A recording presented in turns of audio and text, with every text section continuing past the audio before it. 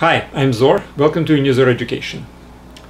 Um, I would like actually to present you another problem related to pyramids. Uh, problem is presented on unizor.com uh, as part of the advanced course of mathematics for high school students. I do recommend you to try to solve this problem just by yourself. It's problem number six under pyramids. And um, after you've done that, you can listen to this lecture and I'm going to present the solution to this problem myself. Okay, so what's the problem? The problem is as follows. We have a triangular pyramid. S is apex, ABC is the, the base. Now, I know lengths of the side edges. SA is has a length length A, SB has a length B, and SC has length C.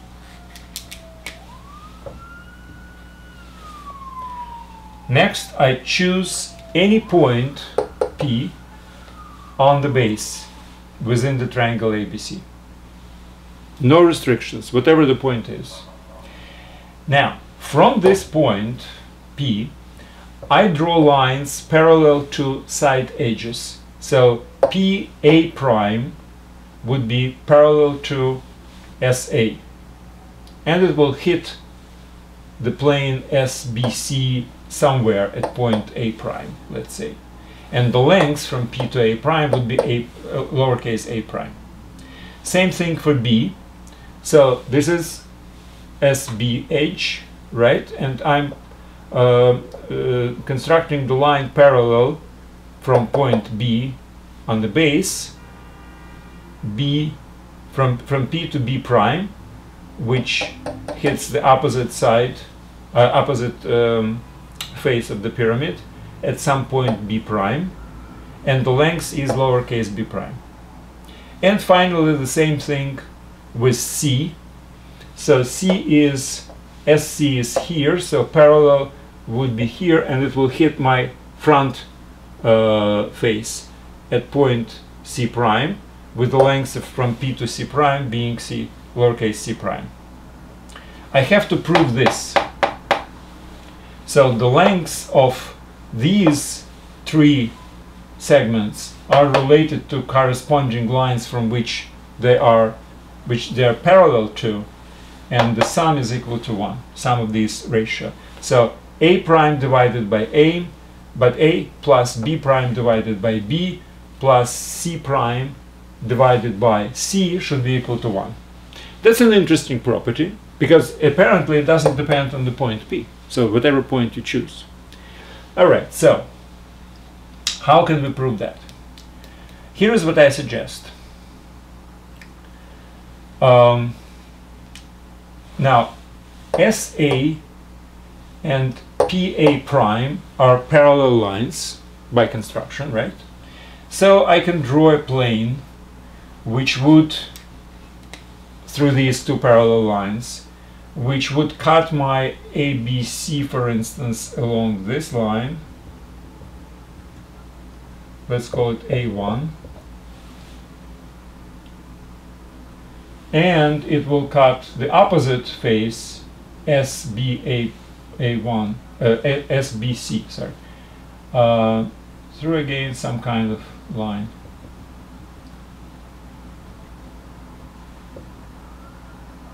So this is a plane which goes through parallel lines PA prime and CA and it cuts through the pyramid two faces and goes into point A1 on the edge from B to C. Now, since these two are parallel and A A1S is plane, right? Obviously we have similarity between, between triangles AA1S and PA1A prime. Now, from this obvious similarity, I can say that A prime is related to A the same way as a1P relates to A1A, right? Let's just consider again. So this is a triangle S, A A1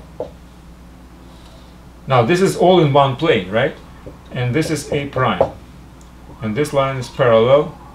That's P. This is what happens in the plane A A1S now these are parallel. So relationship between a prime and A. This is A prime and this is A. A prime divided by A is exactly the same as A1P divided by A1A. A1P divided by A1A, right? Okay. So let's remember this. And we will do exactly the same with other two.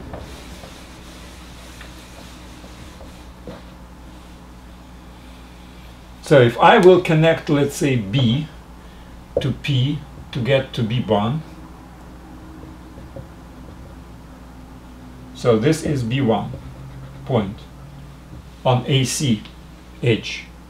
I can say that B uh, prime to B is equal to um, B1P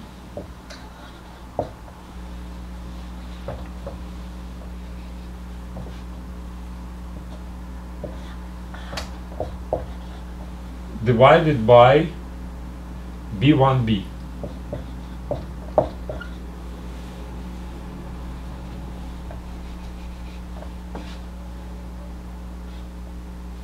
What am I writing? B1B, B1P. And the same thing for the C. C prime divided by C is equal to okay, C, C, C, here is C, C prime. So that would be on the front page, on the front face. This would be C1.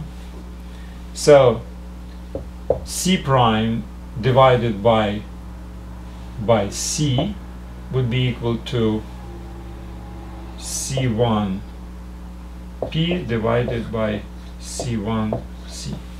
Now this is lowercase c by the way, this is uppercase c, because these are lengths and these are letters. C1c. Alright, now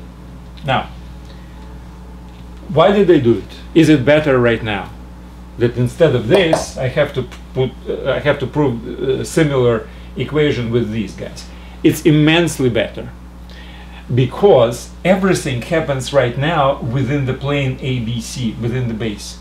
So all these lines, A1P, A1A, B1P, B1P, and C1P, and, C, and C1C, they're all pieces of this triangle. Everything is here.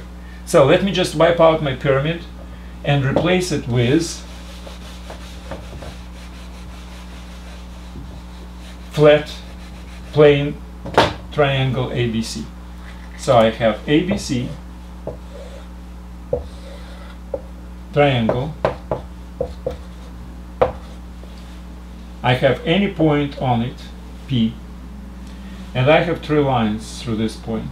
One, 2 and 3 to A1, B1 and C1 point is P and I have to prove that well A1 P divided by A1A plus B1P divided by B1B plus C1P divided by C1C is equal to 1.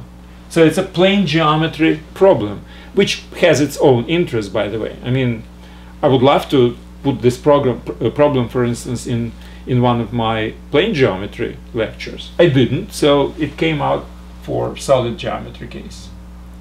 All right, so how can we prove that? Here's a very easy, actually, way to prove it. Let me delineate three triangles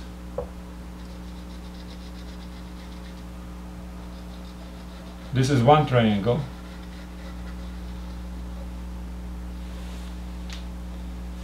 BPC. This is another triangle. APC. And the third triangle, APB. Now, obviously, my total triangle is divided into three smaller triangles.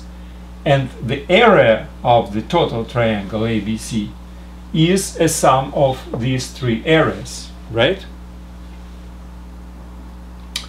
Now, let's just think about it.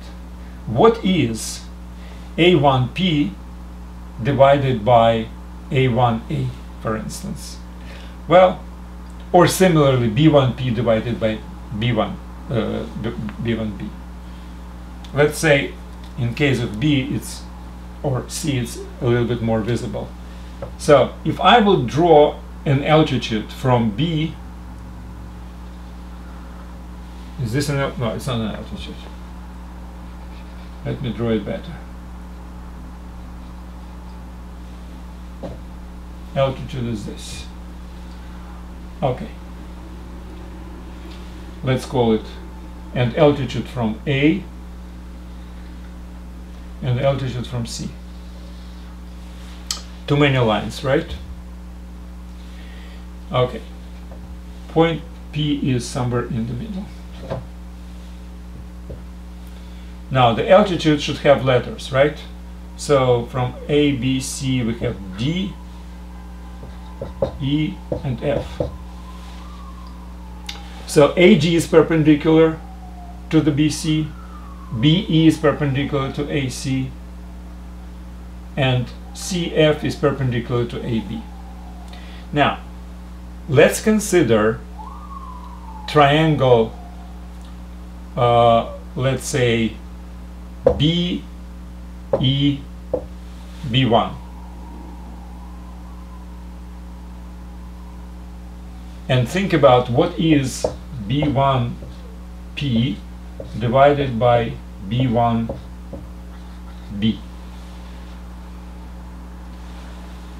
Well, if you drop a perpendicular from P, you would see that this is exactly the ratio.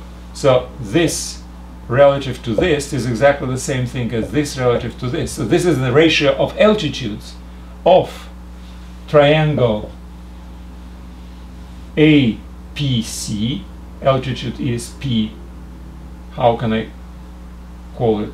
Uh, FG. Uh, H and okay let's see. So what I'm saying is that the ratio between let's say B1P and B1B is the same as ratio between GP and EB because these triangles are similar because these are two perpendiculars but this is the altitude of this triangle so the PG is, is altitude of this triangle. And BF is altitude of the bigger triangle, ABC, with the same base AC. So the ratio of these altitudes is exactly the same as the ratio of the uh, uh, areas because they have the same base. So AC the base and PG is the altitude of APC. For ABC, correspondingly AC is the same base and uh, BE is altitude. So the ratio between B1 and P1, uh, B1 and P is uh, to B1B is the same as ratio of altitudes and since they have the same basis it will be the same as ratio of altitudes, uh, of, of the areas, sorry. So, if I will call the area S1, S2, and S3, I have these three triangles. So that and area of the entire uh, triangle would be S. So I can say that B1P divided by P1 uh, by B1. B, B1P, B1P is exactly as S1 to S.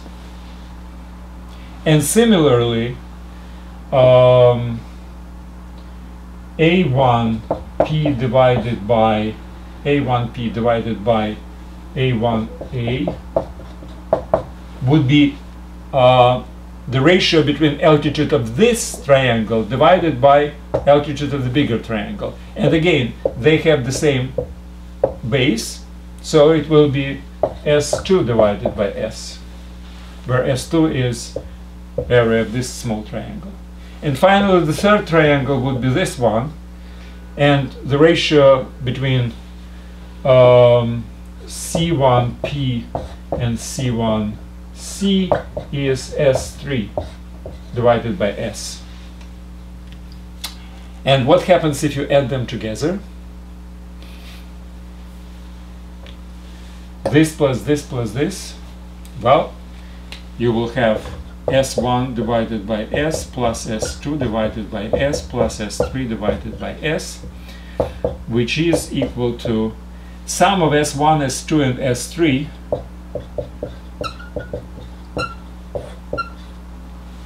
is actually the area of entire triangle. So it's S divided by S, which is 1.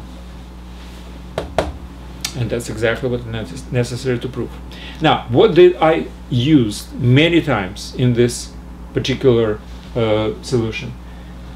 The similarity. Similarity of the three-dimensional um, elements to corresponding uh, similarities in the plane geometry I basically reduced using this. So these are three-dimensional lines in all different directions. These are everything is in the in, in the base in the plane which is the, the base triangle ABC. So first of all these three ratios I have replaced with three ratios which relate only the elements within the triangle and then within the triangle, I also kind of replaced ratio between this and this and this with a ratio between altitude this and altitude that. And since they have the same basis, these triangles, small one and the big one, the ratio of the altitude is the same as the ratio of, of, of areas, right? So playing on this similarity many times, I basically reduced it to a very simple and obvious formula that the area of the triangle is equal to sum of the area of three pieces. Whatever choose whatever you whatever whatever point you choose in the middle of this triangle doesn't really matter. Well that's it for today. Um, I suggest you to go through this uh, proof yourself. It would be great if you can write it down. This equals to this or this is similar to that etc and um, it's very useful if you can write it with an explanation.